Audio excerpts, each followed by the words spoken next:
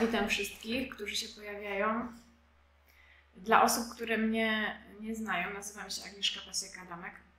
Ja od 12 lat zajmuję się projektowaniem wnętrz. Prowadzę studio projektowe ATO ATO. Robimy takie duże, e, kompleksowe projekty. E, No i zapraszam Was do mojej grupy Urządź swoje mieszkanie z Agnieszką Pasieką Adamek, bądź A to mi się podoba, w której dzielę się wiedzą z zakresu urządzania wnętrz, podpowiadam jak samodzielnie sobie z tym wszystkim poradzić. Jestem też autorką książki Od inspiracji do aranżacji, czyli jak pięknie mieszkać. To jest takie ABC urządzenia wnętrz, które pokazuje krok po kroku, jak samodzielnie poradzić sobie z remontem i urządzeniem domu bądź mieszkania. I prowadzę również platformę kursową e, agnieszkapasiekadamek.com, na której y, mam kursy właśnie dotyczące tego, jak y, urządzić swoje wnętrze samodzielnie.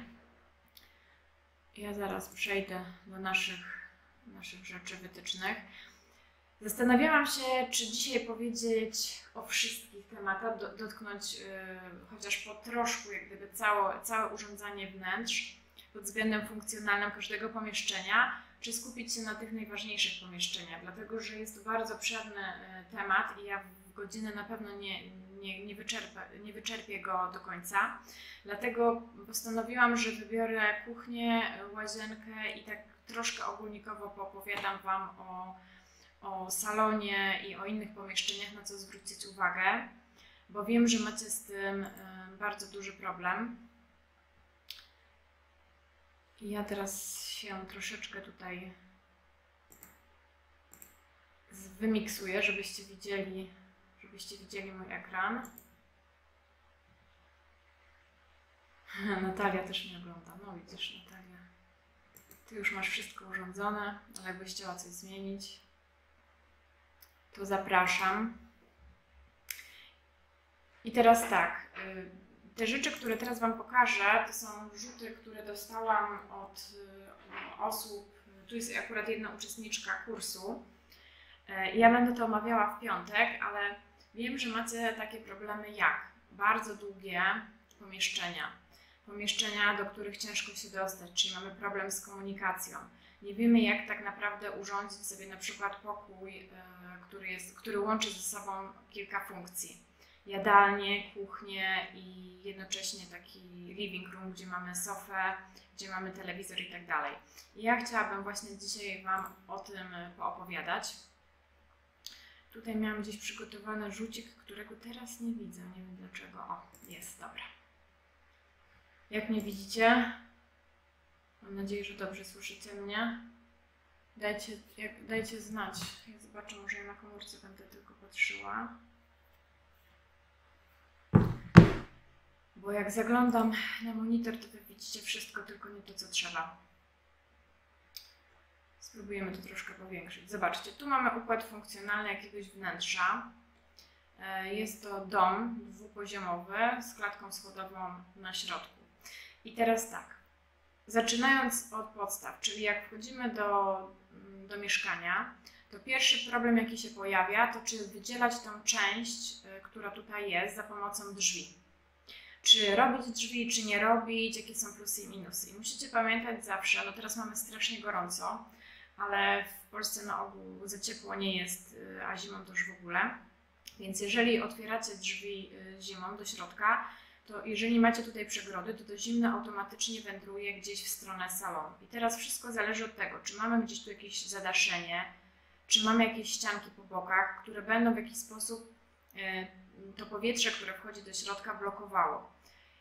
Ja uważam, że nie ma idealnego rozwiązania. Dobrze jest, jak gdyby tą część zamknąć, ale jeżeli mamy tutaj na przykład taką przestrzeń, która jest bardzo wąskim korytarzem i chcielibyśmy jak najwięcej miejsca tego mieć i nie chcemy oddzielać, to możemy, te, możemy jak gdyby tego nie, nie zamykać, tylko musimy pamiętać o tym, że to zimne powietrze może gdzieś nam dalej pójść. Dobrym rozwiązaniem jest na przykład przymknięcie części salonu, tak żeby to powietrze gdzieś tak jakoś skręcało w stronę mm, schodów czy w stronę jakiegoś, jakiegoś innego pomieszczenia, tak żeby nie było takiego efektu, że jak siedzimy na sofie, to od razu mamy chłodno. Więc tutaj jest do przemyślenia ta rzecz.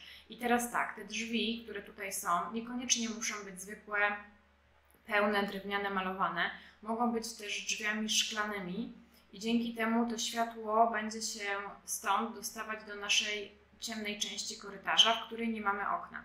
Inna sytuacja jest oczywiście wtedy, kiedy w korytarzu mamy jakieś okno, ale na przykład no, w tym projekcie akurat tego okna nie ma. Czyli jeżeli bierzemy pod uwagę, jeżeli chcemy zaprojektować dobrze funkcjonalnie korytarz, to musimy wziąć pod uwagę właśnie tą strefę buforową, czy ją mamy, czy nie, i czy mamy oświetlenie, czy nie. To są te dwa główne elementy. Kolejna rzecz to jest to, gdzie my siadamy, gdzie my się ubieramy, gdzie wieszamy ubrania.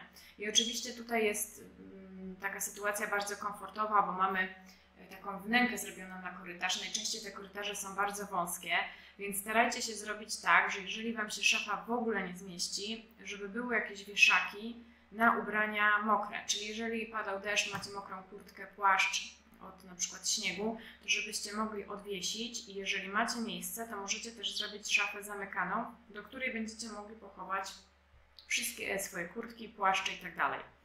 Dobrze jest, jak można gdzieś sobie usiąść, Tutaj mamy akurat zrobione w tym miejscu siedzisko, czyli pod siedziskiem mamy jeszcze jakieś buty, nad siedziskiem mamy wieszaki, a gdzieś z tyłu mamy część do przechowywania. I dobrze jest, jeżeli możemy się przejrzeć przed wyjściem, czyli jeżeli na przykład na całej ścianie, albo tu, albo tu mamy lustro, które może też nam optycznie powiększyć taki korytarz, bądź wieszamy jakieś lustro ozdobne w ramach, w zależności od tego, co Wam się e, podoba. Trochę mi tutaj odpływa.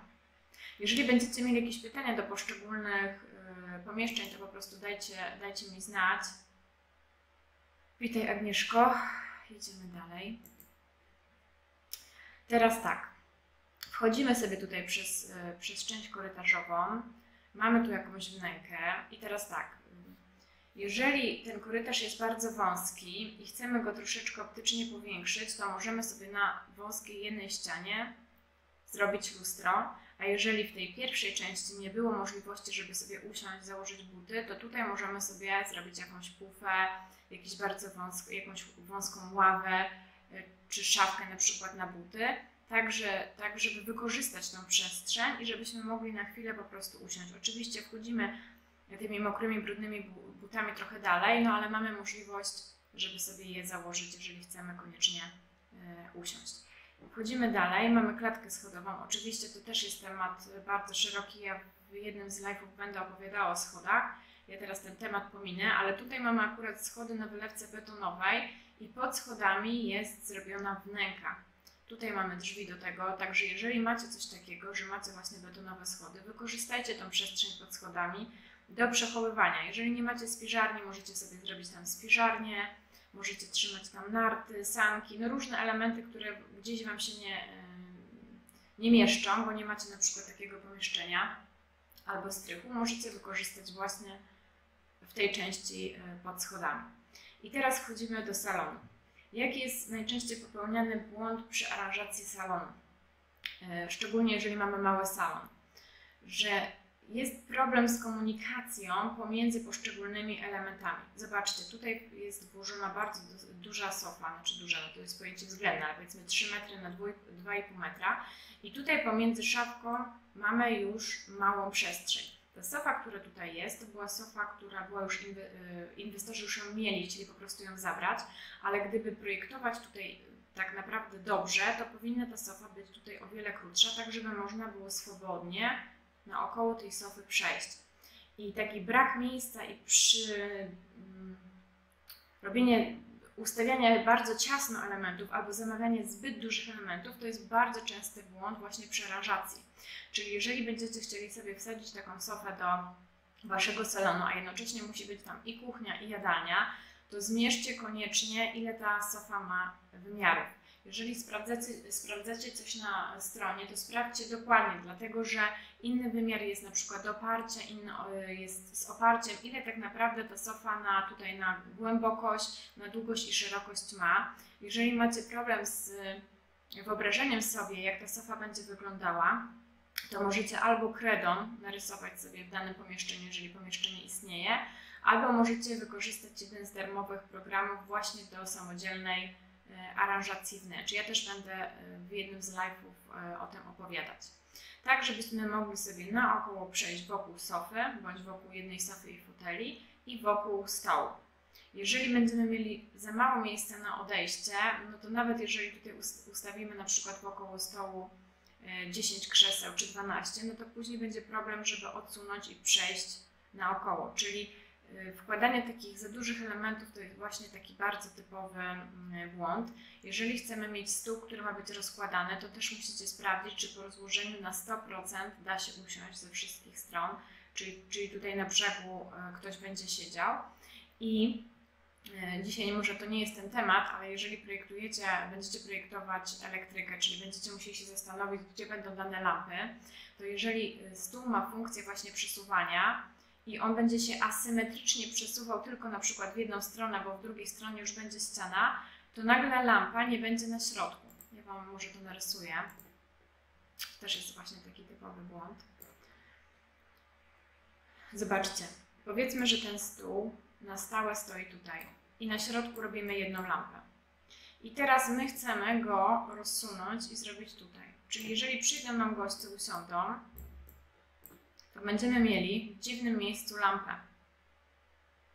I teraz jak poradzić sobie z tą sytuacją? No pierwsza opcja jest taka, że nic nie robicie, a druga opcja jest taka, że nie robicie tutaj lamp, które wiszą, takich, tylko robicie raczej jakieś punktowe lampy, które symetrycznie są rozłożone względem osi i doświetlacie sobie salon. Ja będę w jednym z live'ów o elektryce też o tym opowiadać.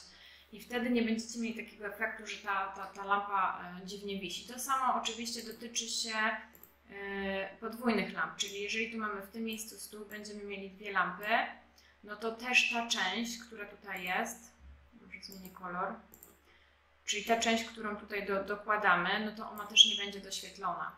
I dlatego robienie jednej lampy na środku salonu nie do końca jest dobrym rozwiązaniem, bo nie mamy dos doświetlonej tej części i tej części.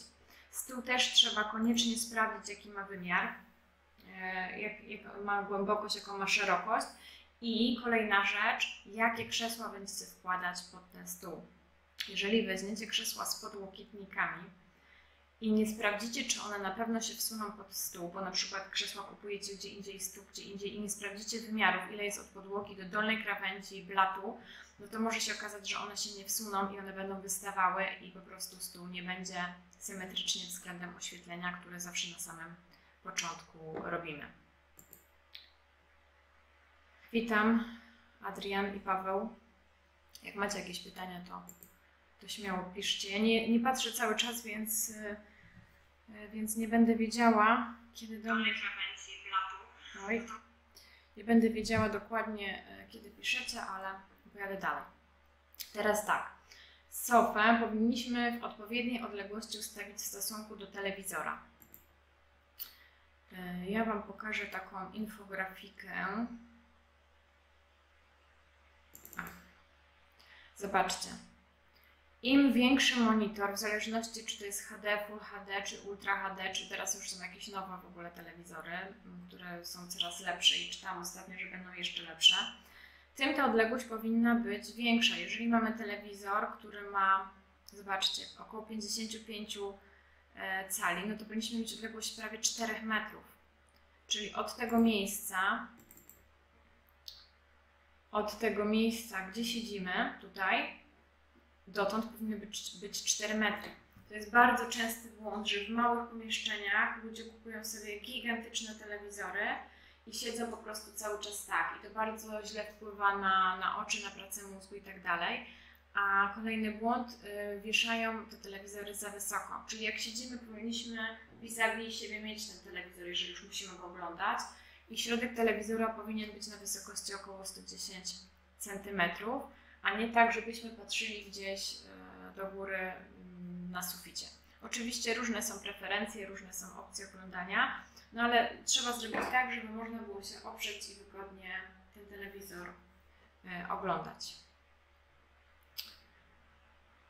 Teraz jeszcze jedna rzecz w salonie. Ok. W salonie, jeżeli mamy małe w ogóle wnętrza, to najczęściej chcemy bardzo dużo elementów włożyć. Kredensy, witrynki, regały, różne elementy, które mają znaleźć się nam na ścianie. I na dodatek lubimy bardzo zasłony i firany. Pamiętajcie, że zasłony i firany, a szczególnie zasłony, one muszą się gdzieś zbierać. I jeżeli my ustawimy na każdej ścianie jakieś elementy, to później nie będzie gdzie. Ta, ta kotara, ona nie jest płaska, ona nie zajmie jednego centymetra. Ona potrzebuje gdzieś ileś miejsca, żeby się zbierać.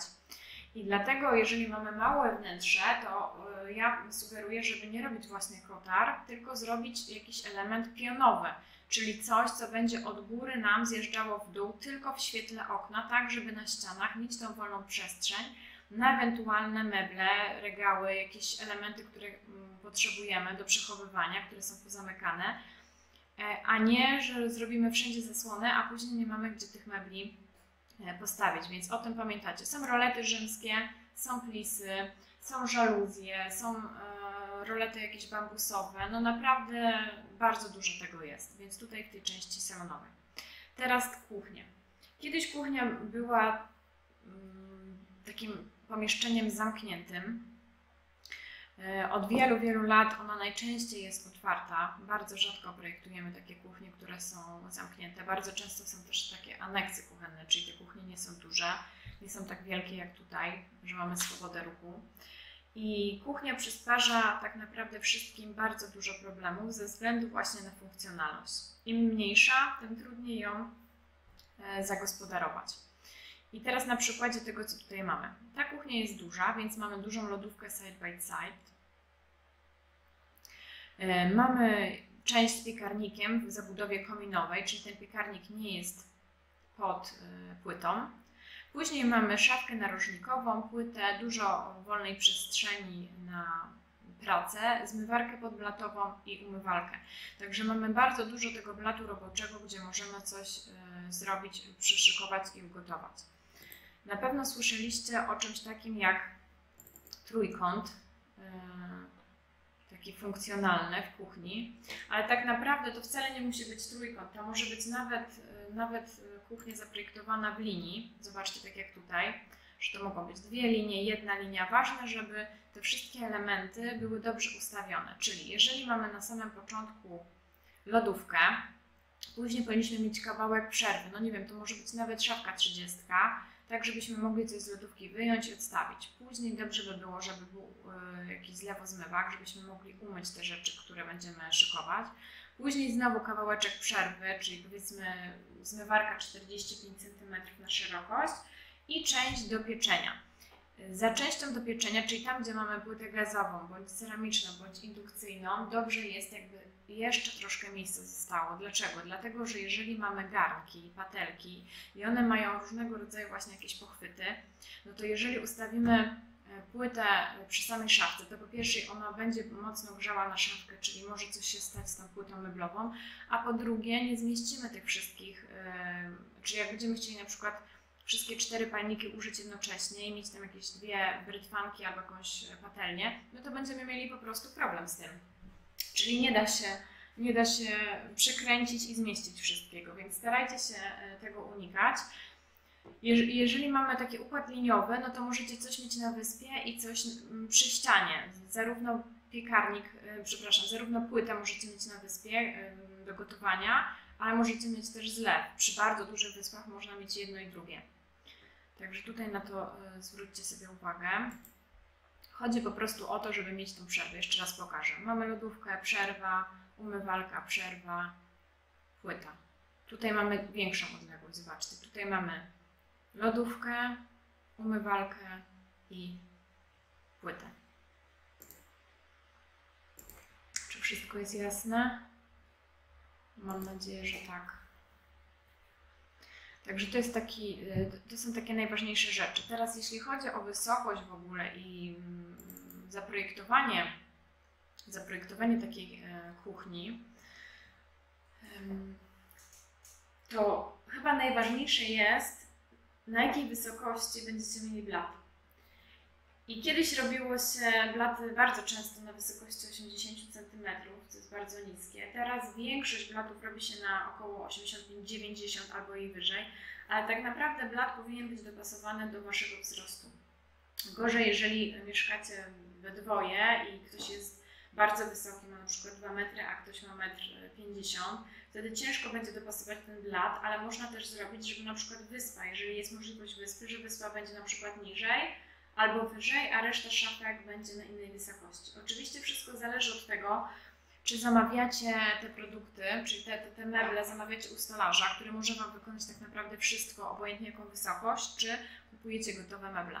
Bo jeżeli kupujecie meble, to możecie nóżkami wyregulować, ale tylko do jakiejś e, wysokości.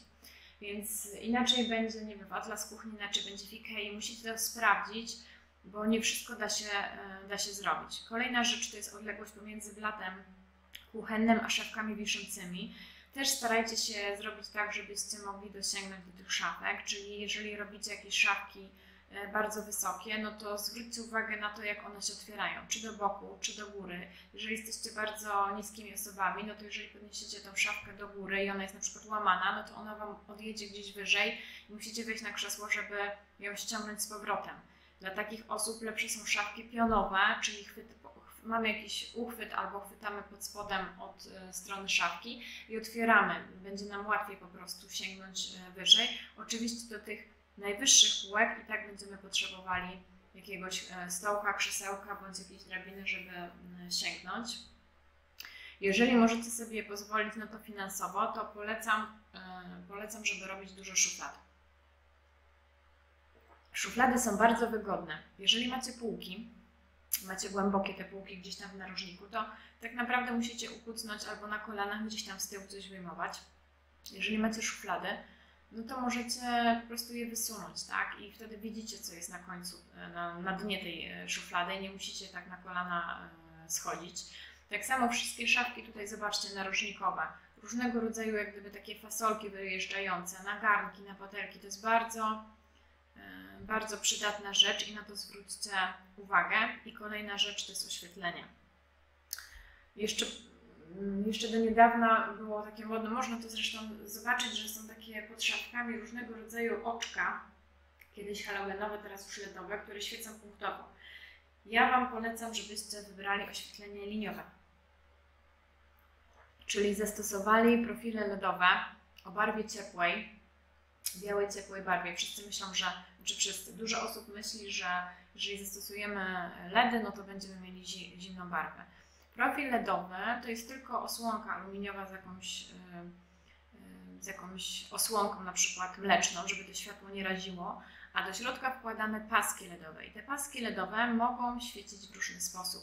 Więc jeżeli zastosujecie ciepłą barwę, to to oświetlenie będzie dla Was przyjemne i wcale nie musicie się tego obawiać.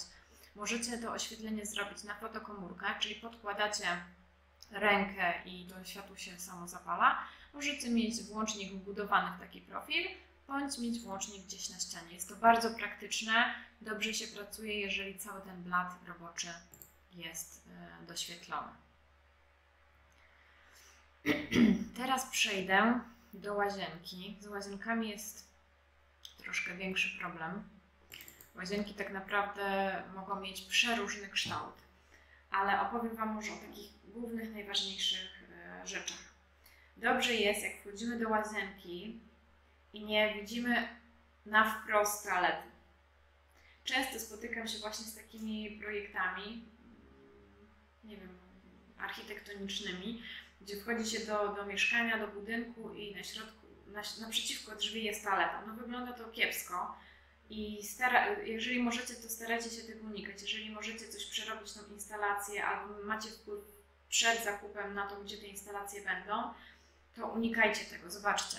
Tutaj wchodzimy, mamy toaletę w narożniku, umywalkę, wannę. Tutaj mamy ten sam układ i mamy naprzeciwko umywalkę, toaleta już jest z boku, czyli nie jest naprzeciwko drzwi, a tutaj jest schowana po tej stronie. To jest jedno i to samo wnętrze, a może być w różny sposób ułożone. Oczywiście wszystko zależy od tego, gdzie macie poprowadzone instalacje, gdzie macie wodę ciepłą, zimną, gdzie macie odpływ. Nie zawsze wszystko da się e, przenieść, ale możecie to w różny sposób wykorzystać. W tym układzie, który tutaj jest, zobaczcie, nawet zmieściła się nam jeszcze pralka albo jakaś zabudowa. Czyli tak można to też e, rozwiązać. Teraz tak. Temat wolno stojącej wanny też jest bardzo popularny, więc troszkę o tym opowiem. Jeżeli weźmiemy wannę, taką, która jest tutaj, czyli w zabudowie, to możemy stosunkowo tanio taką wannę kupić yy, i baterię, którą tutaj zamontujemy, też bardzo tanio kupimy. Przy wannach wolnostojących, żeby one były mm, ładnie wyglądały, żeby były z dobrych materiałów, plus bateria, która też swoje kosztuje, musimy zapłacić 3, 4, 5 razy więcej, więc też pamiętajcie, ja mówiłam to ostatnio o budżecie, że jeżeli za, zakładacie taką wannę wolnostojącą, to ona potrzebuje nie, ty, nie tylko więcej pieniędzy i musi być droższa bateria. Oczywiście bateria też może wychodzić ze ściany, ale też więcej przestrzeni, tak żebyśmy mogli z tyłu tej wanny dojść i to, to wszystko naokoło umyć. Także tutaj trzeba to wziąć pod uwagę, żeby była możliwość. Ja bardzo często spotykam się z takimi realizacjami, gdzie wanna jest przyklejona po prostu z wszystkich stron i aż się prosi, żeby to była wanna w zabudowie, a ona jest tam na siłę włożona. No i tak naprawdę w tych szczelinach tam w ogóle nie ma opcji, żeby tam to wyczyścić. Nie? Jest to bardzo, bardzo problematyczne. Także wanna wolnostojąca najlepiej jakby miała oddech, najlepszy jest salon kąpielowy, no ale rozumiem, niektórzy całe życie o niej marzą, więc jak już mają tą swoją łazienkę, to za wszelką cenę chcą właśnie sobie um, upchnąć tą wannę. Teraz przykład bardzo małej, e, bardzo małej łazienki i w różnych kształtach. Zobaczcie, tu mamy kwadrat, a tu mamy prostokąt. To jest tylko funkcja toalety. Mamy y, miskę, mamy umywalkę, tutaj mamy jak gdyby większe, większe pole manewru przy kwadracie, bo możemy mieć blat, na którym możemy coś odłożyć i po tej stronie schować, ale starajmy się unikać właśnie anfas jak się da tej części. Jeśli chodzi o kabiny prysznicowe, to możecie mieć kabiny, które są kwadratowe, prostokątne, różnego rodzaju łuki. I taki częsty błąd, który jest y, powielany w projektach łazienek, ja nie wiem, czy ja tu będę gdzieś jakąś, spróbuję poszukać czegoś, chyba nie będę miała. To jest taki błąd, że otwierając kabinę uderzamy w coś. W toaletę, w geberit, w jakąś szafkę, w umywalkę. Starajcie się sprawdzić to. Nie zawsze drzwi otwierane to najlepsze rozwiązanie. Nieraz warto zrobić drzwi, które są przesuwane albo otwierają się do środka. Teraz mamy taki wybór kabin prysznicowych i różnego rodzaju łokinów, że naprawdę możemy możemy wybrać coś, co będzie dla nas funkcjonalne. Także sprawdźcie, czy po otworzeniu będzie możliwość, y, czy po otworzeniu nie uderzycie w jakiś element, który się znajduje gdzieś, y, gdzieś w łazience. Ja tutaj nie mam akurat takiego przykładu, żeby Wam pokazać. Jeżeli macie jakieś wnęki, to te wnęki bardzo fajnie wykorzystać właśnie na kabinę prysznicową. Wtedy możemy zastosować drzwi przesuwane i mamy bardzo dużą przestrzeń. Pojawiają się pytania, czy robić brodzik, czy, robi, czy robić tylko odpływ w posadzce. Muszę Wam powiedzieć, że ja coraz częściej robię odpływy ścienne. E, są to odpływy, które znajdują się w ścianie całkowicie. Ja zaraz zobaczę, czy odpływ ścienny. O, tak, tak wygląda odpływ ścienny. Ja akurat robiłam e, tylko firmy Geberit, przypuszczam, że jest więcej tego, wszystko pewnie zależy jaka tam jakość i tak dalej. I woda wchodzi nam do środka i żeby coś takiego zrobić, musimy mieć stelaż. Jeżeli chcielibyście e, mieć coś takiego, to musicie przewidzieć w części prysznicowej, Czyli powiedzmy, powiedzmy, że mamy tutaj prysznic, ja to też na, naszkicuję może.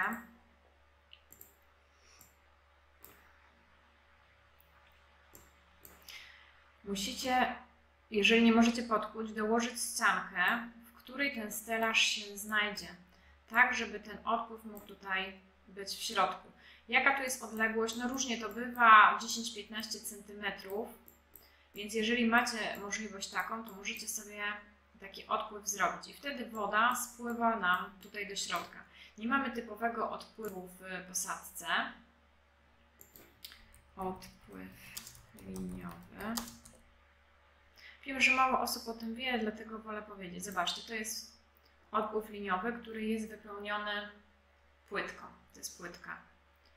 Ale mogą być też odpływy liniowe, które są wypełniane innymi rzeczami. Tu jest, zobaczcie, taki cieniutki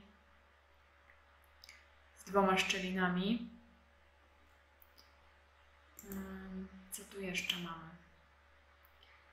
Tu jest wypełniony, o, zobaczcie, to jest właśnie taki ruszt w środku i tą górę, yy, znaczy to jest ta rynienka i górę wypełniamy właśnie tym elementem zewnętrznym. Widzicie, tutaj mamy odpływ. Nie musicie się tego bać. Bardzo łatwo tą górną część wyjąć i można to wypełnić albo jakimś elementem yy, metalowym, albo z jakimś wzorem. No, jest bardzo dużo producentów, którzy to robią.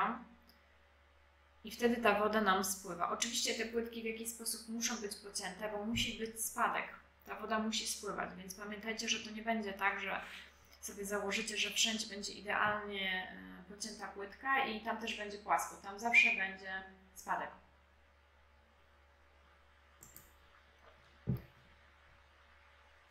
Teraz kolejna rzecz. Ja sobie cofnę. Kolejna rzecz, ja zaraz zobaczę.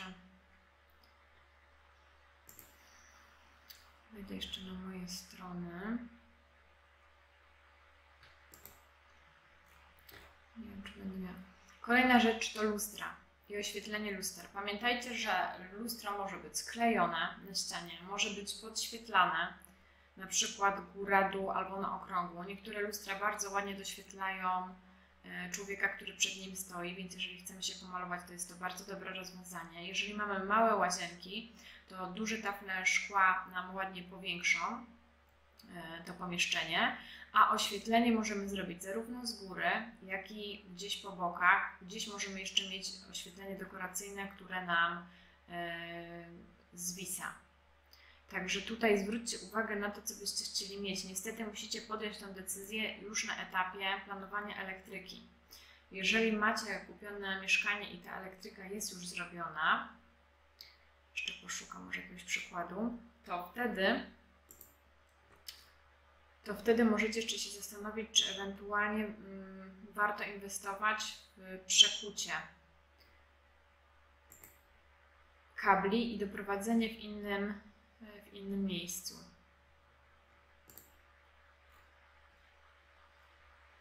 Zobaczcie, tutaj standardowe oświetlenie liniowe, które wzdłuż tafli lustra podświetla jest jeszcze oświetlenie na suficie, a tutaj jest część z gabaritem, która jest wysunięta.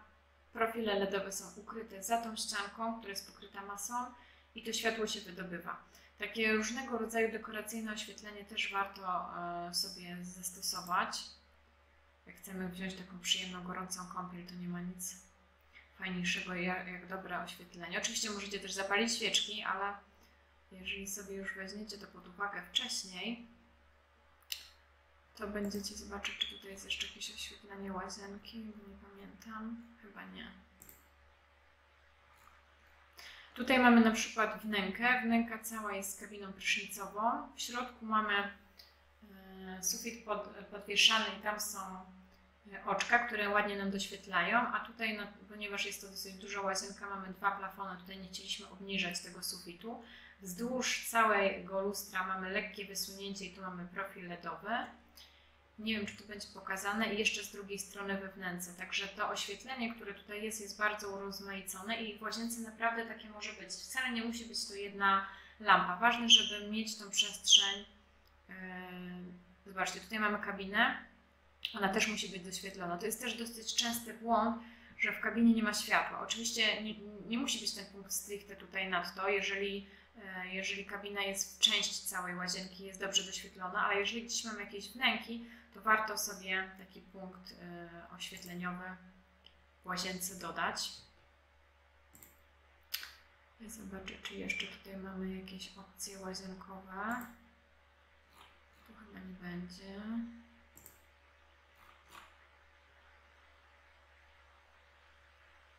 A, wiem jeszcze o czym bym chciała powiedzieć. Zobaczcie, tutaj mamy trochę no małe zdjęcie, ale y, widzimy, że tu jest jakaś szafa. Jakaś duża, wielka szafa. Ta łazienka nie była duża, drzwi były przesuwane. We wnęce mamy mm, tutaj też mamy dodatkowe podświetlenie, a tu znajduje się pralka, a nad nią piec.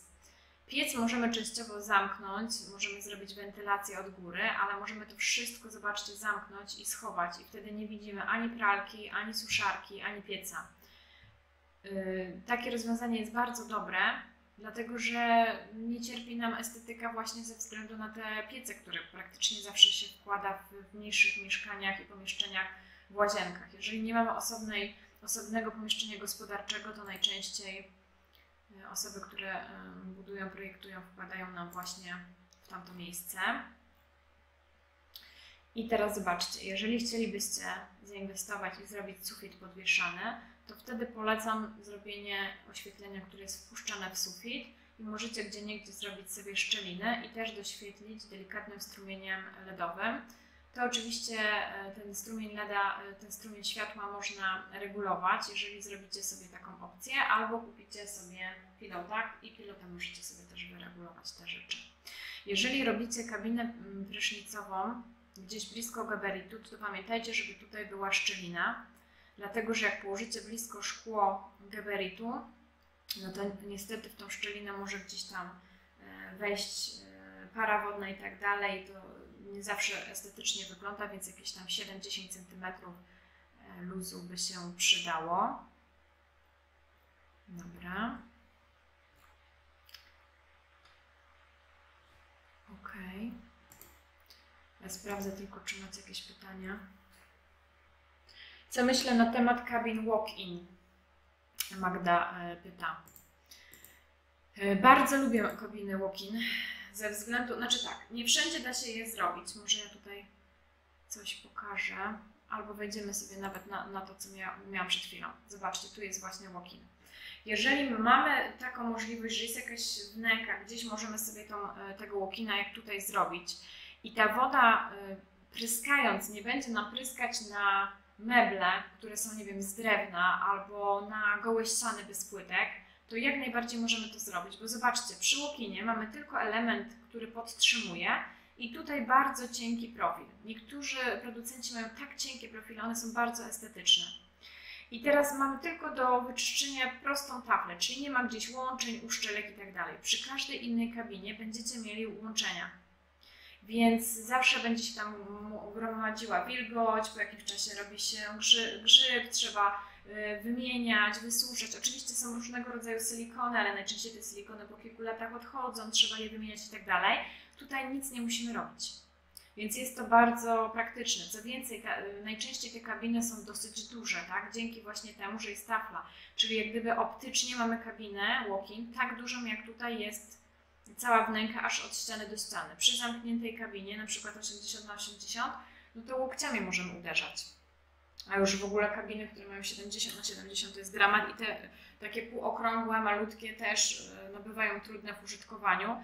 I e, taki, takie rozwiązanie łokina jest dosyć dobre. E, to, co jest ważne przy łokinach, to żeby zwrócić uwagę na wykończenie. Czyli jeżeli gdzieś w pobliżu mamy jakieś drzwi i tak dalej, to żeby to było dobrze zasilikonowane tutaj, albo żeby ta uszczelka była dobrze zrobiona, bo ja miałam taką sytuację, że mi gdzieś tutaj bokiem przeciekało, tutaj obok były drzwi i cała ościeżnica spłukła i trzeba było wymieniać ościeżnicę. Więc na to na pewno y, trzeba zwracać uwagę. No i jeżeli mamy po drugiej stronie, nie wiem, pralkę czy coś, no to nie możemy mieć takiego łukina, no bo ta woda nie może cały czas lecieć na, na meble, na sprzęty.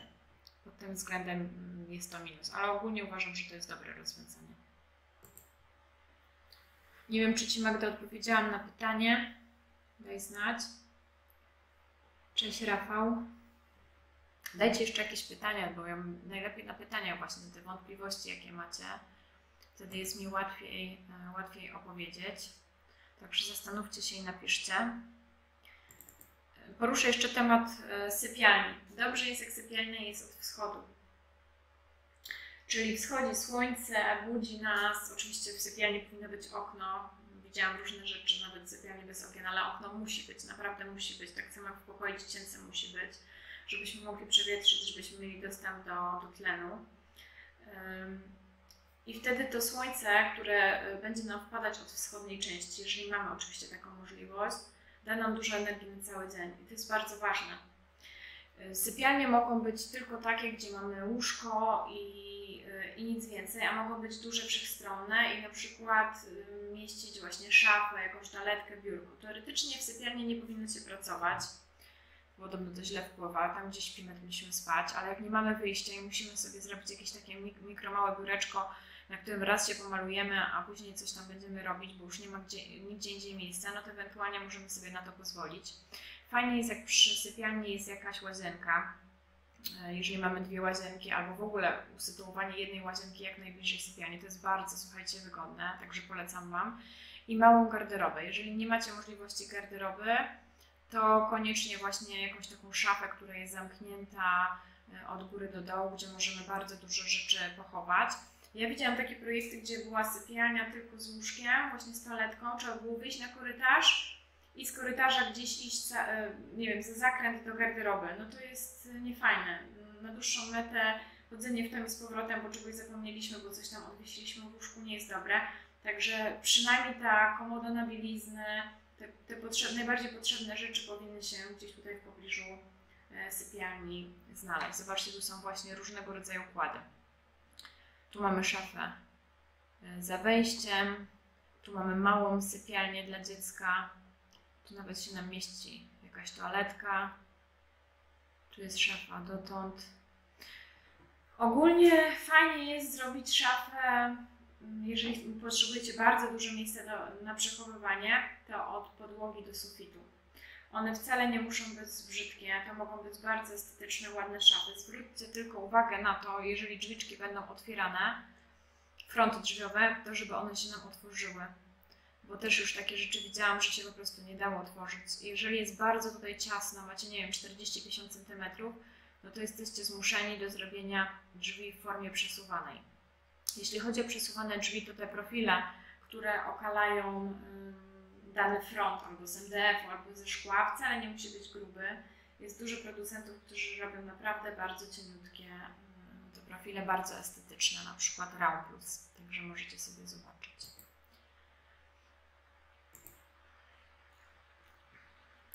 Cześć Justyna, cześć Ela.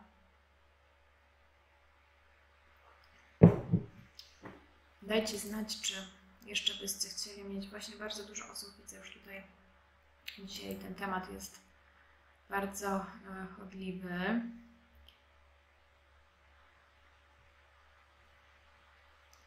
Ja bym chciała Wam jeszcze pokazać. Gdzieś tutaj miałam. Na grupie urządza, e, Urząd swoje mieszkanie z Agnieszką Pasieką Adamek dostałam e, taką, łazien, taką łazienkę na poddaszu. Zobaczcie. To jest rzut z góry. Tutaj ktoś sobie już wymodelował.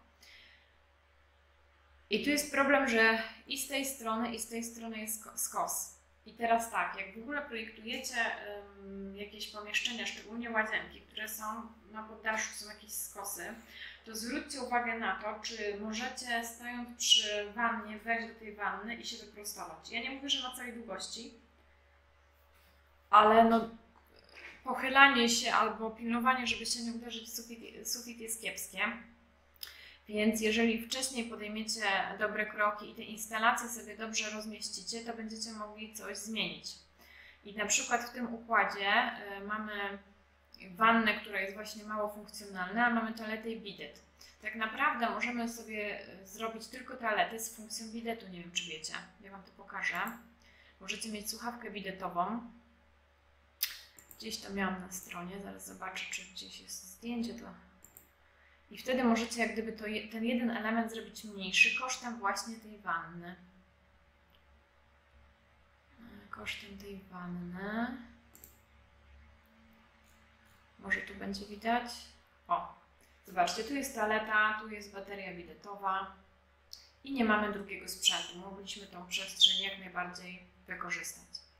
Tutaj zwróćcie też uwagę, że kabina nie jest przytwierdzona za pomocą jakiegoś elementu, tylko jest tafla szklana, która jest na całej długości, bez praktycznie łączeń, tylko tutaj jest przytwierdzona. To też jest fajne rozwiązanie, bardzo estetyczne, minimalistyczne, a tutaj mamy odpływ, odpływ liniowy. I teraz wracając do naszego, e, wracając do naszego właśnie tutaj wnętrza, jak popatrzymy sobie na rzut z góry, to tutaj widzimy przerywaną linię, gdzie ten e, sufit wychodzi. I tak naprawdę, gdybyśmy ten układ zrobili inny, tu jest oczywiście nietypowa sytuacja, bo to jest łazienka przychodnia, czyli mamy tutaj drzwi, tutaj drzwi. Najczęściej jest tylko jedna para, czyli tutaj element jest zamknięty. Lepiej byłoby zrobić tą wannę tutaj, tak? Kosztem jak gdyby tego bidetu, bądź wsadzić bidet na przykład tu. Tylko, że to wszystko trzeba przewidzieć wcześniej, a nie, na, a nie wtedy, kiedy wszystko jest zrobione, chyba że możecie sobie pozwolić na to, żeby zapłacić na, za zmianę instalacji żeby przeprowadzić to. Można oczywiście też zrobić wannę wolno stojącą w tą stronę, tutaj, albo nawet nie wolno stojącą, tylko przy, przytwierdzoną. Tutaj oczywiście będziemy mieli utrudniony dostęp, jakieś, nie wiem, kosze na pranie, coś będziemy mogli sobie włożyć, ale wtedy bardzo łatwo się nam będzie od tej strony wchodziło, albo na przykład tutaj, w środku. Także zawsze jest kilka rozwiązań. Ważne, żeby te rozwiązania były dobre i funkcjonalne dla Was. W większości łazienek są grzejniki, więc też weźcie je pod uwagę, bo często osoby zapominają. Wiem, że Aneta mi się pytała na grupie Urządź swoje mieszkanie z Agnieszką Pasieką Adamek, co zrobić, żeby e, szyby nie parowały, szkło, żeby nie parowało, lustro, przepraszam, lustro, no to możecie matę, e, matę sobie zastosować grzejną, tak? Ta mata wcale nie musi być na całej tafli szkła, może być na jakimś fragmencie, jak sobie staniecie anfas, no to chcecie, nie wiem, mieć 50 na 50 cm.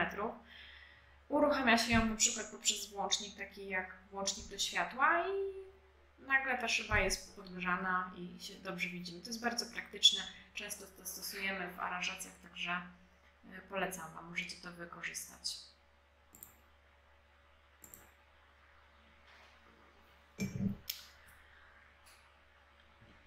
Nie za zimno, a nie za zimno w takiej kabinie, Magda. Bardzo dobre pytanie. Ostatnio ciocia mi się o to pytała, której tam pomagałam. E, ona się boi właśnie, że będzie zimno i tak dalej. No ja korzystałam ja korzystałam z takiej kabiny wiele lat z Łukina. Teraz też mam, chociaż teraz mam zamkniętą, jedną otwartą, jedną zamkniętą. No to powiem tak, jeżeli woda leci, jest ta para i jesteśmy jak gdyby w tej przestrzeni, która tutaj jest, to jest nam ciepło. E, jeżeli łazienka jest dobrze dogrzana, jest nam ciepło. Jeżeli łazienka ma dobrą wentylację i ta para gdzieś tam idzie dalej, no jest nam dobrze. Po prostu dopiero jak wychodzimy z tego pomieszczenia, e, dalej jest zimno. Jeżeli pomieszczenie, łazienka jest niedogrzana, czyli macie problem w ogóle z dogrzewaniem i utrzymujecie temperaturę, nie wiem, 19 stopni w łazience, to będzie Wam zimno. I pierwsze co ja zauważyłam, pierwsze co się robi, obojętnie czy to jest walk czy kabina zamknięta, otwieramy wodę, żeby właśnie ta e, woda poleciała, wchodzimy do środka, jest nagrzane i, i, i się kąpiemy. I tak samo działa walk tak samo działa zamknięta kabina. Jest dosyć mała różnica. Ważne, żeby po prostu łazienka była ciepła. E, ja się kąpałam wiele razy w różnych miejscach i były bardzo zimne łazienki, no to musiałam właśnie na, od, od, odkręcić tą wodę, żeby ta para ciepłej wody gdzieś tam puchnęła, żeby była w stanie się w ogóle umyć. I to, I to była zamknięta kabina, więc jak wychodziłam, to myślałam, że zamarznę. Tutaj jak wychodzi się z łukina, to też jest mniejsza różnica tych temperatur i teoretycznie no, może być to mniej odczuwalne. Mam nadzieję, że odpowiedziałam na Twoje pytanie. Okej. Okay. Jeżeli to już wszystko, to powoli będziemy kończyć. Mm, ja zapraszam Was gorąco na, jeżeli nie jesteście w grupie Urządź swoje mieszkanie z Agnieszką Pasieka, damy sekundka. Zaraz tutaj sobie ją przełączę się. Przełączę się, żebyście widzieli mnie. Okej. Okay. Ja gorąco Was zapraszam na, na grupę Urządź swoje mieszkanie z Agnieszką Pasieka-Adamek. Mm, tam jest bardzo dużo treści, fajnych materiałów, także możecie naprawdę skorzystać. Jeżeli macie pytania, możecie tam zadawać. W piątek będzie live. Widzę, że coś tutaj tnie obraz, przynajmniej u mnie na monitorze. Ok. W piątek będzie live, na którym będę odpowiadała na Wasze pytania. Pytania można zadawać tylko w tej zamkniętej grupie. Żeby się do niej dostać, trzeba odpowiedzieć na pytania, więc osoby, które nie odpowiedzą na te, na te pytania, no niestety nie będą mogły się dostać. Dlaczego to jest dla mnie ważne? Dlatego, że jeżeli y, odpowiecie na te pytania, to ja wiem, jakie macie problemy, jakie macie potrzeby, czego nie wiecie. Ja wtedy mogę dobrze te treści przygotowywać. A jeżeli y, zapominacie, nie wiecie, nie chce Wam się odpowiedzieć na te pytania, no to ja później nie mogę przygotować tych materiałów. Dlatego dla mnie to jest ważne, żeby osoby, które chcą się dostać do tej grupy, odpowiedziały na te pytania, bo ja tą wiedzą się dzielę z Wami, dla Was to robię i Jeżeli no, nie możecie chociaż tam sekundę poświęcić, żeby skromnąć jakieś tam kilka, kilka zdań, no to później nie mogę też przygotowywać tego dla Was. Także bardzo proszę wszystkie osoby, które wysłały zaproszenia, a nie odpowiedziały na te pytania, żeby odpowiedzieć na te pytania, no bo wtedy będziecie mogli dostać e, wiedzę, która jest skrojona specjalnie e, dla Was. Dziękuję ślicznie i do usłyszenia w następny wtorek. Będzie kolejny live, a teraz w piątek będę odpowiadała jeszcze na Wasze pytania, także zapraszam, e, zapraszam gorąco i do zobaczenia i do usłyszenia, mam nadzieję.